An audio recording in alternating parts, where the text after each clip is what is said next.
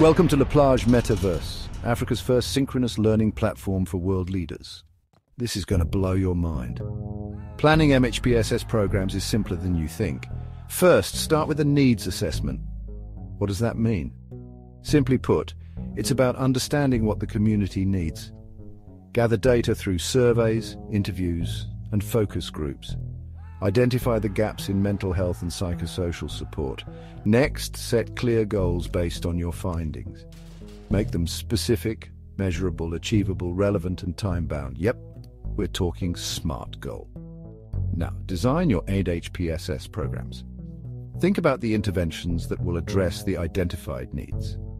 This could include counseling services, support groups, or community workshops. Don't forget to involve the community in planning. Their input ensures the programs are culturally appropriate and accepted. Finally, establish a monitoring and evaluation plan. This helps you track progress and make necessary adjustments. Needs assessment and careful planning are the backbone of effective MHPSS programs. Ready to make a difference? Let's get started.